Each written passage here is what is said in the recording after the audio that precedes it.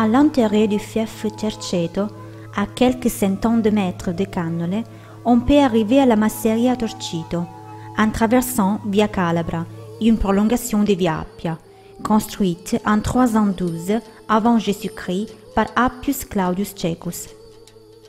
L'ancienne route partait de Rome et traversait Capua, Benevento pour arriver jusqu'à Taranto et Brindisi. Via Appia et Via Calabra ont été réalisés pour ouvrir le chemin de la Grande Grèce pendant les guerres samnites.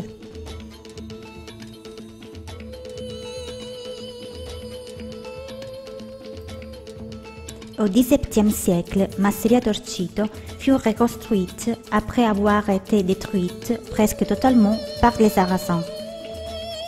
Elle est située dans les fiefs de Cerceto, dont le boisement a été voulu par l'administration provinciale en 1970, qui voulait protéger la forêt méditerranéenne et toutes les espèces autochtones.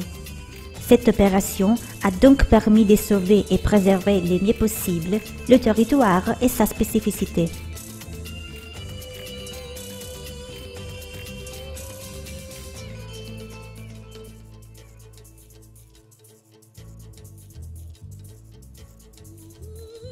La Masseria Torcito a une architecture visiblement ancienne, même si elle semble bien conservée dans le temps. La structure d'origine date du XIIIe siècle. Elle a subi ensuite un sérieux et complexe processus de restructuration terminé en mars 2002 et il est devenu aujourd'hui site touristique des Cannole, mais aussi un lieu magnifique pour des manifestations musicales et culturelles de tout type.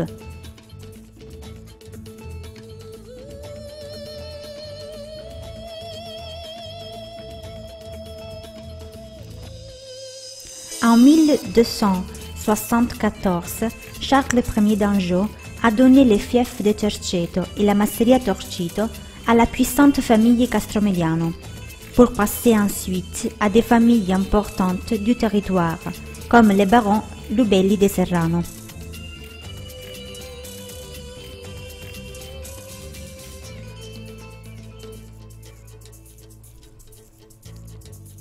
L'entier complexe de Torcito est constitué par la masseria et une petite chapelle dédiée à San Vito.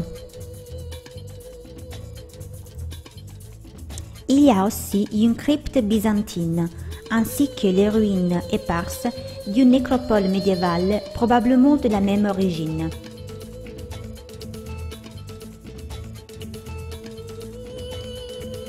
À quelques mètres de la masseria, il y a une grande tour colombier, parfaitement conservée à l'extérieur comme à l'intérieur, qui peut accueillir aisément plus de 3000 oiseaux.